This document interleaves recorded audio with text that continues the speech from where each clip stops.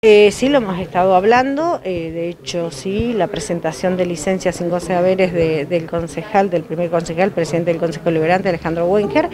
llevó a que bueno, que bueno, se vaya viendo quién va a ser, quién va a asumir la banca. Eh, nosotros somos cuatro concejales que, que habemos, ¿sí?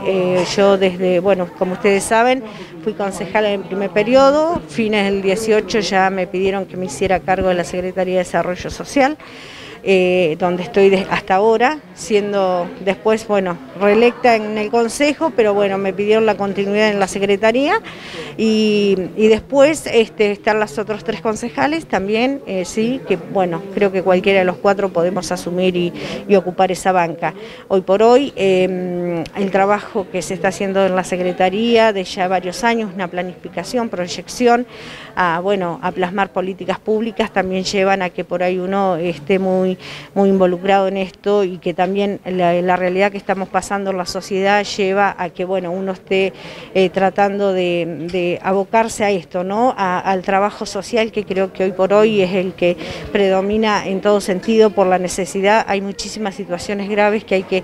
trabajarlas y ese, bueno, desde la Secretaría se ha conformado un equipo muy importante, eh, como digo, desde el primero al último todo este tiempo que yo he estado trabajando con ellos, la verdad que ha sido excelente el trabajo, el acompañamiento, nos tocó vivir momentos difíciles, ¿sí? primero fueron los temporales muy fuertes, después pandemia, pero bueno, después la situación económica, social a nivel país, provincia, que también afectó a Esquel y que donde nosotros estuvimos trabajando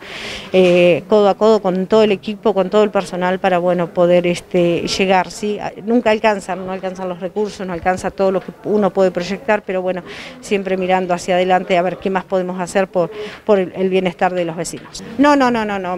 Yo la decisión, ya la, yo no digo que me quedo o que me voy, yo tengo la decisión tomada, pero no puedo, no voy a adelantar nada hasta eh, tener la reunión con el intendente, que calculo que va a ser hoy a la noche, mañana a la mañana, pero ya mi decisión está tomada. Eh, primero lo tengo que hablar con el intendente, tengo que transmitírselo a él, eh, claro, pero bueno, yo primero tengo, corresponde, sí, corresponde que yo tengo que primero hablarlo con el intendente y después, porque no me gustaría que me, me decisión se, él se la esté enterando a través de, ustedes, de las redes o los medios, ¿sí? Corresponde que yo me siente y se la diga él personalmente, así que voy a esperar, creo que llega esta noche, así que ahí va, ahí va a tener el cuál es mi decisión. La verdad que hoy a la mañana me sorprendieron, yo estaba justo terminando una reunión con, con una concejal, María Martínez, me había pedido una reunión, de golpe empiezo a escuchar aplausos y después abro la puerta, se fue María Martínez, entró todo el personal, todos los directivos a, pedirme una reunión donde, bueno, me manifestaron todos que ellos eh, mañana le van a hacer una presentación formal al intendente, eh, donde no eh, piden que no me vaya, ¿sí? De hecho, acá hay algunos de los directores acompañándome que por ahí, este, la verdad que que me, emocionaron, eh, me hicieron llorar porque no me la esperaba, la verdad que uno trabaja, ¿sí? Yo como digo, somos todo un equipo de trabajo, somos compañeros de trabajo y la verdad que, todos vayan así a pedírmelo, la verdad que también no deja de para mí ser un negocijo al corazón y decir, bueno, tan mal las cosas no, se están haciendo. No, no, la verdad que ayer, ayer a la tarde, porque uno trabaja, cierra a la una la secretaría, pero sigue trabajando con el equipo ayer a la tarde, justamente estuvimos recorriendo barrios, trabajando y sí, y yo la pensaba, mientras vas caminando y vas viendo el antes y el después, como ser de esto, todo lo que se ha ido logrando, y no es que lo logre yo, sino se logró a través de la Secretaría con todo el personal,